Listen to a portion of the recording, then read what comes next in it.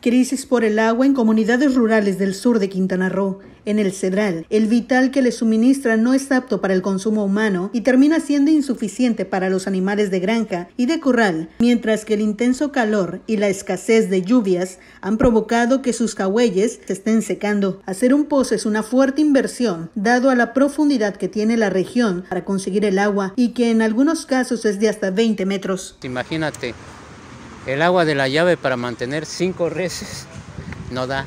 Pues hay que mantenerlos en el, potrero con, a través de jagüeyes, pozos artesanales. O hay que acarrear el agua del pozo y llevárselos. Es complicado, pues la gente que tiene más de cinco cabezas tiene que verse obligado a hacer un pozo artesanal, que le lleva pues más de dos semanas, con una profundidad a veces de pues de 6 metros cuando bien les va, si no hasta 16.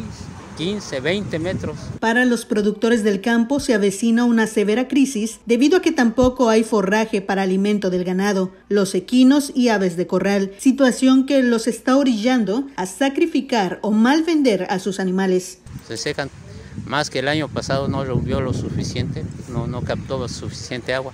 Pues las sacrifican o las venden a, a precio regalado perjudica a todos, pero pues no es nada más ese ramo.